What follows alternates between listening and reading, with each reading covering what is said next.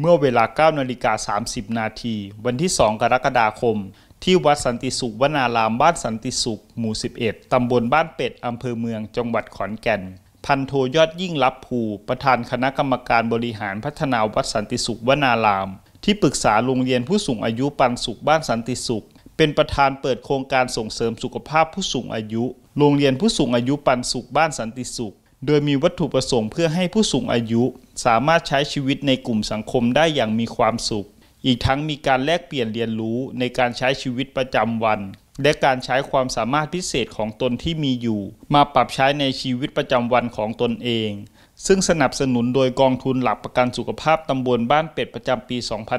2566โดยมีพระครูสมุทองล้วนสิริจันโท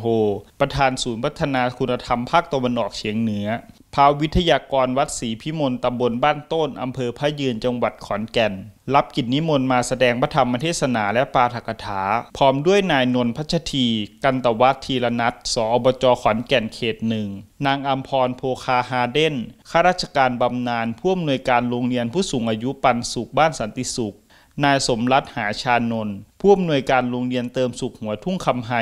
ตลอดจนนักเรียนผู้สูงอายุจากโรงเรียนบ้านหนองโจดบ้านหัวทุ่ง และชมรมผู้สูงอายุเมืองขอนแก่นร่วมกิจกรรมในครั้งนี้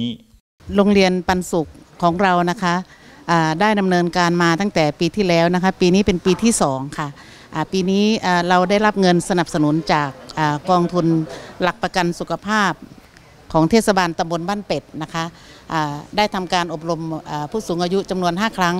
ครั้งนี้เป็นครั้งทีสี่4 ค่ะ อบรมที่วัดสันติสุขวนารามของเราค่ะ ค่ะอ่าผู้สูงอายุของเรามีความสุขนะคะ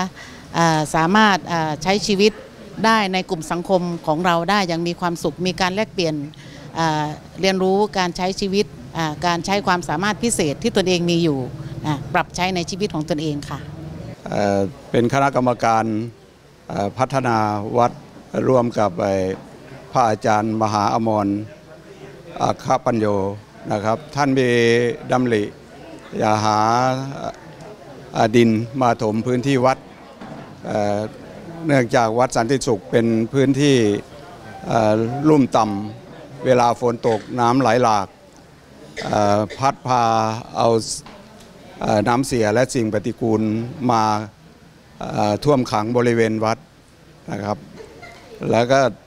ก็เลยคณะกรรมการได้ปรึกษาหารือเป็นมติเห็นชอบจัดหารถ